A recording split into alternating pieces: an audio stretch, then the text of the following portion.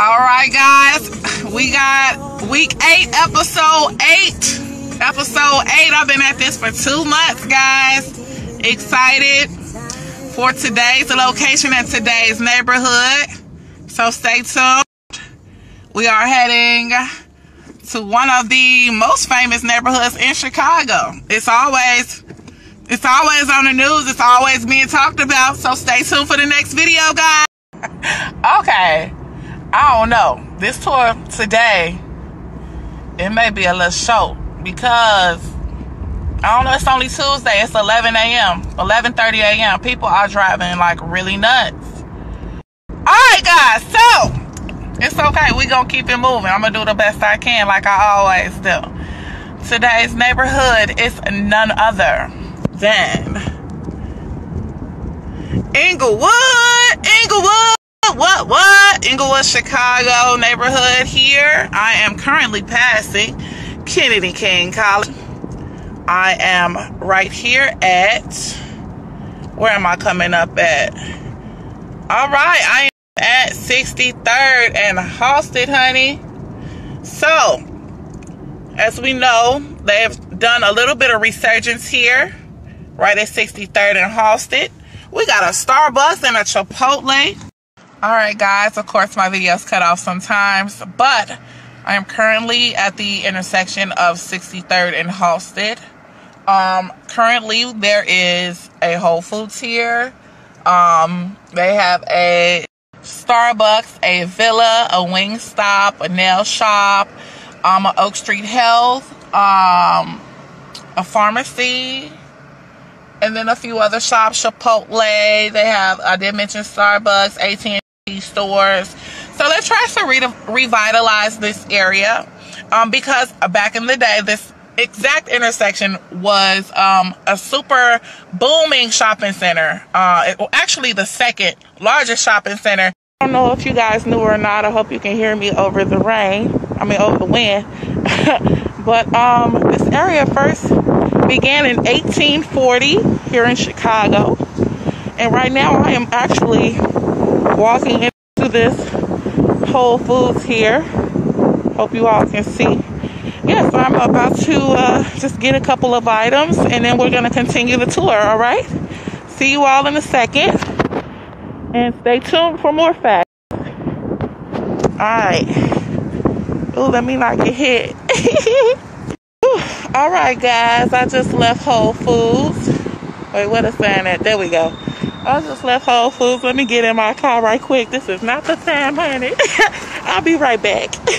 All right, guys. So as mentioned in the last few videos, this area was founded by a man named Wilcox in 1840.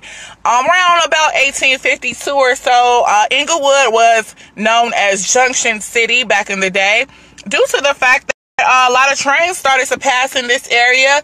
Uh, the Illinois Central Railroad uh, didn't take off just yet, but a lot of trains and a lot of freight trains were starting to come into the area, so it was called Junction Grove. And we are going to keep moving forward, so stay tuned. I'm going to show you guys some things on the tour. I'm excited about this one. I'm I'm super excited. All right, so stay tuned. Oh, yes, I love when it's a red light. Okay, so guys, right now I am at the corner, the intersection of 63rd and Halsted. Um, as mentioned before, this corner here was super essential. Um, there was the one of the second largest Sears locations um, in Chicago, one of the second oldest as well. Sears was built in 1934 here on this in at this intersection, uh, long before the um, CTA stop was here. This is currently the Green Line stop right at 63rd and Halsted. I think it's one of the second to last stops because I think the last one is on Ashland. So yes, guys, this block here is super historic. Look at the old architecture here. This right now is a rainbow or was a rainbow, still is a rainbow. Um, so yes, these buildings, it was a lot of older buildings on this street alone, on this stretch alone. As stated before, that intersection was the second largest compared to downtown Chicago. Um, so yeah, it was a Englewood was a very super booming neighborhood. Um, even it, it thrived even during the depression during the 1930s. Um, a lot of people did move to this area because the rent was a lot more inexpensive, a lot cheaper. Um, the black belt was filling up with uh, uh, back in Bronzeville Parkway was filled up to the rim to the brim. So people, you know, they they moved out and started to spread out. Um, and Englewood is definitely one of those neighborhoods. There were up to a hundred thousand Englewood residents at one time. So stay tuned, stay tuned, guys. Today's tour will be popping. All right. All right, guys. So I'm just showing you all a little bit of Englewood's architecture here. These buildings are pretty vintage, pretty old. A lot of the uh, buildings in West Garfield, even the Garfield Park and Gage Park neighborhoods, are sort of similar, um, as well as in Bronzeville, like the architecture here, the stones used. Look at this. This is beautiful. And it stands the test of time even today in 2020. So these are some beautiful homes. Um, and I'm sure they're probably split up or, you know, who knows. Unfortunately, Englewood does have a host of empty lots here. Um, there are a lot of empty lots. Ooh. So, um, yeah, it's not foreign. A lot of neighborhoods in Chicago have a few empty lots, but all right, I am currently at 65th and Halsted. Once again, um, yeah, this Kennedy King College. It used to be a lot smaller, but of course they expanded the area. Um, all of this is their land here. This is a big old parking lot, and um, they will be wrapping up uh, the semester right about now and getting ready for the summer uh, semester. But you know, COVID is hating, so that's okay. There is City Sports on the side right there. That City Sports is older than a lot of people I know. so, all right, we're just gonna keep this tour going, guys. Um, the Union Stockyards, I'm gonna show you guys that as well. My grandpa, he used to uh, work at the Union Stockyard back in the day. Thrive, the uh, Englewood neighborhood. I'm also gonna show y'all this building here on the corner. All right, guys, I gotta keep my eyes peeled. You know, I'm trying to do a little tour shit for y'all, but uh, let me keep my eyes peeled. All right, so right now I am currently on what is it, 64th and Lowe. Woo, woo, woo. Thank God it's 12:21 p.m. Okay. Anyway, this building here, right here, I just know it because my mom actually took me to uh well i begged her okay? Let me just be let me be clear. I begged my mom to drop me off at a party here when i was 16 with my friend named jackie at the time. Um so we stayed for all of five minutes because um no. This is one of them buildings. This one of them buildings man. Mm-mm. And then my little boyfriend at the time well, down the line later, his people stayed in here, so I would go over here. Whew, Jesus Christ, the ghetto. All right, so here's the front of it, guys. New Englewood Terrace. When I tell you, when I came up in here, and this reminded me of the uh, part on training day when he went up in the little terrace part, child. Uh, I felt like Alonzo. When I felt like the white boy. When yeah, I felt like Ethan Hawke's character, girl. All right, stay tuned for the tour, guys. I'm not throwing shade. I'm just speaking facts. It is what it is. Um, all right, stay tuned. Love y'all. Peace. all right, I am currently at 63rd and Wallace. Just want to show you all right here, 63rd and Wallace, right across from Aldi, and right here in front of the United States Post Office. This is the Englewood location. All right. Look at this beautiful art over here. Mother Ambassadors for Peace and Hope. Amen. Ashe. Okay, so this location here used to be the location of Chicago's first serial killer, Mr. H.H. H. Holmes. This used to be his murder mansion that he built from scratch uh, only to kill people and lure them away from the 1893 World Columbia Exposition. That's where he got a lot of his his kills. He he lured the people from Midway Plaisance all the. It is said that this location is haunted, and also um, H.H. Holmes is mentioned in episode five, which is Hyde Park location, Hyde Park neighborhood of my tour. I talk about Midway Plaisance. I talk about uh, Erik Larson's book called Devil in a White City, which is one of my favorite books, which tells the whole history of Chicago and H.H. Holmes, the murderer, the killer, the scammer. He was a damn scammer, y'all. Anyway, if you don't know, go ahead and Google Wikipedia, do it all. And uh, we're going to move from this spot. It is haunted though. That's what I've heard. They do have some Chicago haunted historical tours, and this is one of the spots on the tour. Stay tuned, all right? All right, guys, I'm across the street from the post office here. Uh, the location was like a, a large, a huge uh, mansion which had a few shops below, a few shops beneath. I think a pharmacy, another shop. So yeah, uh, this is of course not the exact, exact, exact location. I think it was closer to the corner here, but the basement does, uh, the post office of the basement does go and align with the original location. So it's a lot going on, guys. Here is some beautiful art, beautiful murals of of uh, local artists here, hopefully in Chicago. Uh, elevate Englewood, yes, yes, it needs elevation. So it's a lot going on, guys. Here is some beautiful art, beautiful murals of of uh, local artists here, hopefully in Chicago. Uh, elevate Englewood. Yes, yes, it needs elevation for sure. A lot of the neighborhoods in Chicago do. Um, but yeah, I'm here just in an alley across the street. So, you know, it, they say, you know, it's, it's terrible, it's bad, but I really do think that they target this area.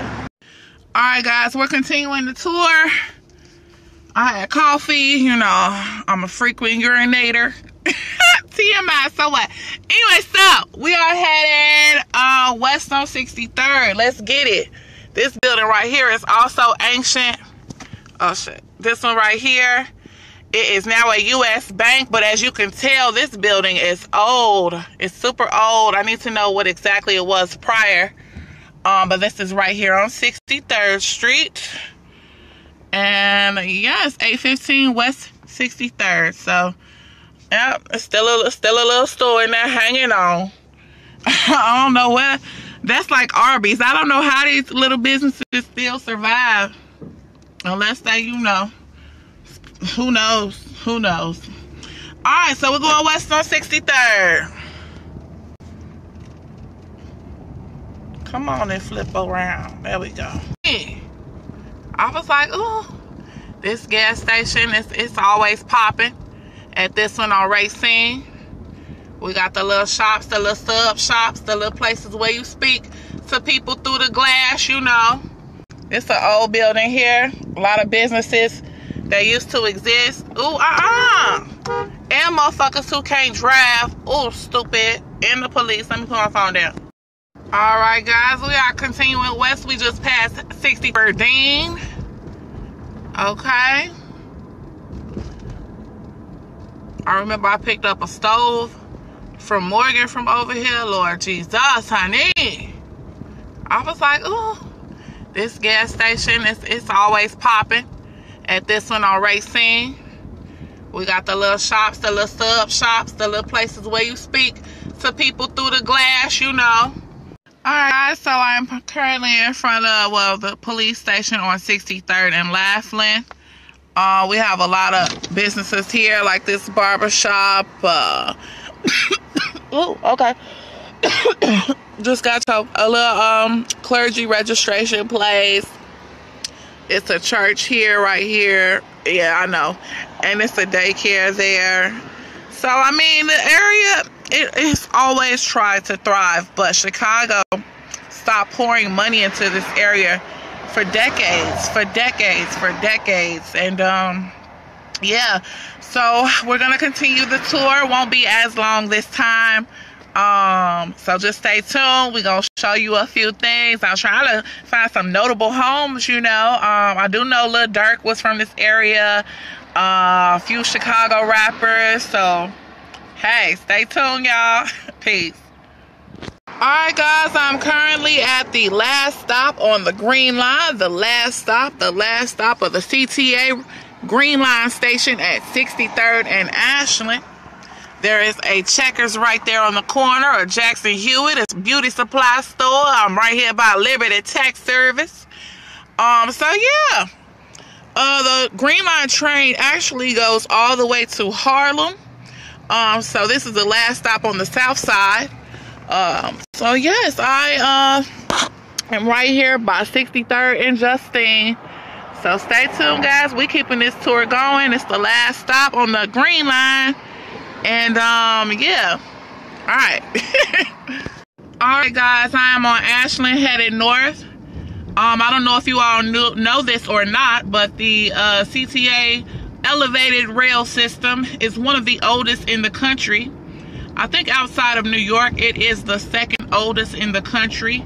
Uh, we had our rail system going in the 1800s, honey, okay? So, um, oh, let me be aware, because people, man. All right, catch me on the next next clip, because we right here by some fools. All right, guys, as mentioned before, we are heading north on Ashland. The boundaries for the Englewood neighborhood are mainly um, 55th, well, that's Garfield, to the north and 75th um, south. That's south to the south. so 75th and then uh, to 55th Street. So let's do it. Also, um, I just want to make sure that I don't go over to Auburn Gresham or to West Garfield Park or, you know, I'm trying to stay in the boundaries of the Englewood neighborhood. So it does vary from like Ashland to Halsted to to um to you know Wallace, Lowe, those areas, those streets, and a little further east. So we gonna show y'all flip this around. Okay, guys. We on 57th and uh, Ashley. Ooh, child. All right. All right, everybody. Right now, I am on 55th and Lastland making sure that I'm not passing into the Garfield Park neighborhood.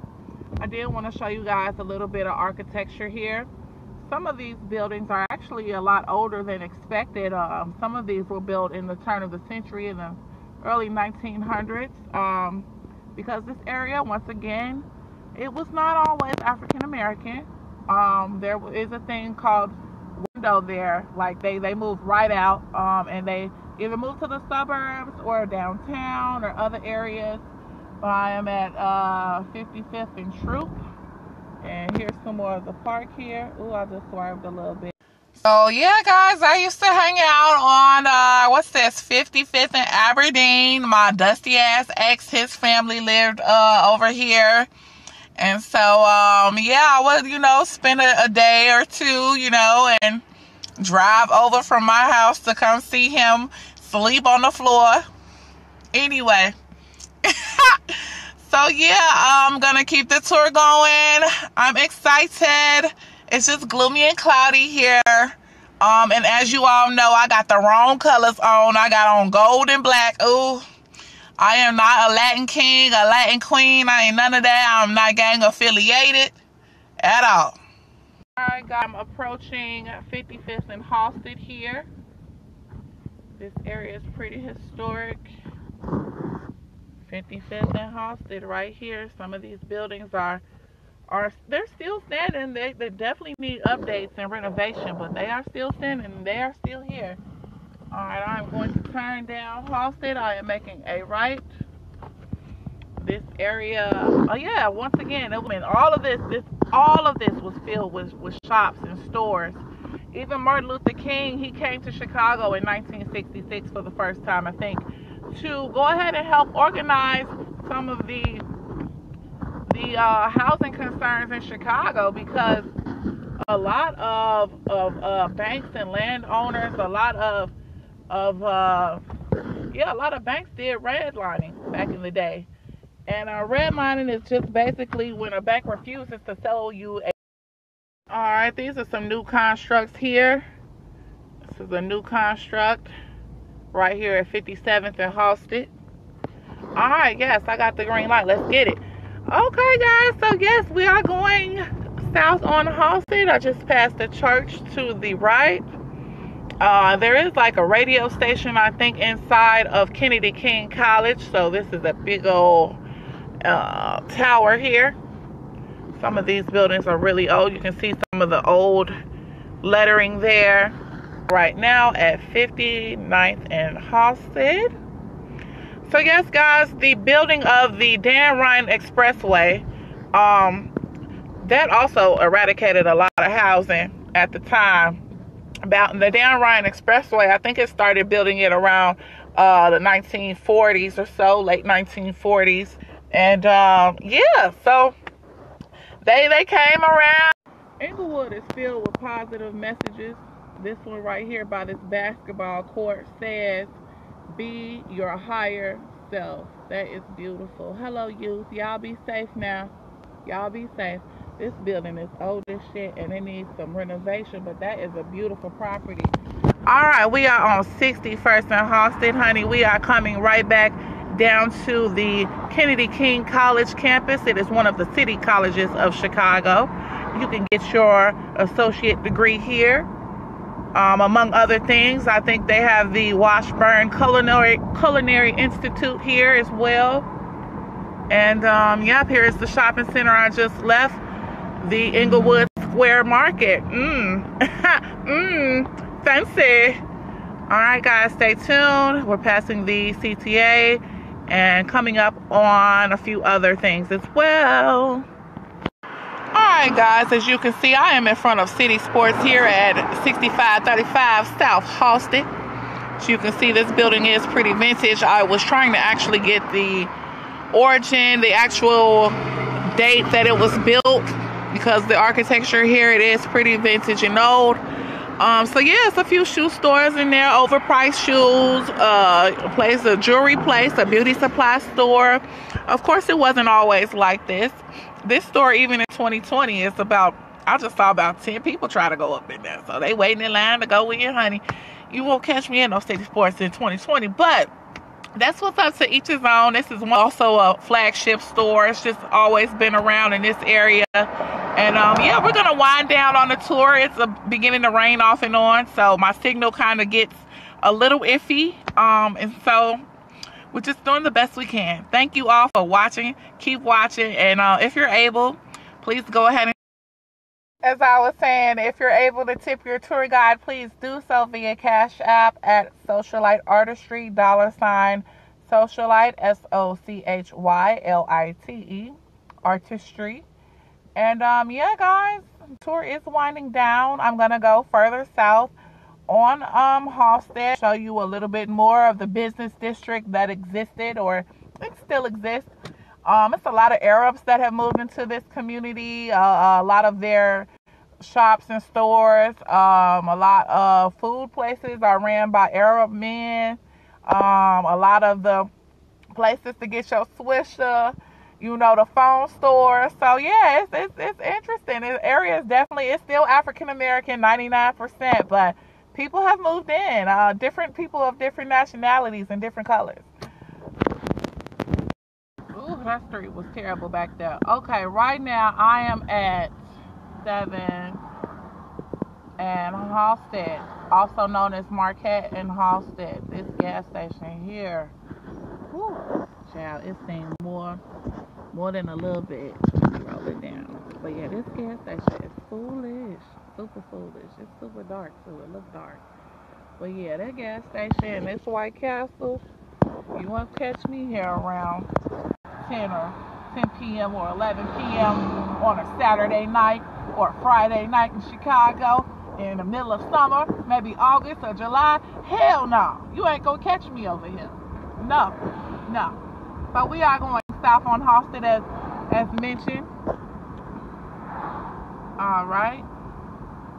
A lot of empty lots as mentioned before, guys. A lot of empty lots. I'm gonna pull over here All right, guys, we're passing 69th and Halsted. I will get the light. This Burger King here, I would not go to if it was the last one in the entire world. I just would not do it. Oh, look at these little kids. Oh, look at these little children. Ah. Okay, guys. So yes, Englewood. Um, around 1970, around the 70s, after King died, things changed a lot for a lot of big cities. Um, King and Malcolm X, they were like, you know, just just it. You know, they were held with high esteem. Who people boy over here. So and I'm not being biased at all. You know, I'm from the east side, but I I, I used to hang on. Uh, I used, you know, I'm gonna show y'all my apartment that I had over here for a couple weeks. So stay tuned. All right. All right, guys, we got uh, Halsted Grocery and Liquor. This little shopping mall is always popping right here on 71st and Halsted. So, all right, some more architecture for you all. As mentioned in the last few videos, this is the home of the GDs, the uh, Gangster Disciples.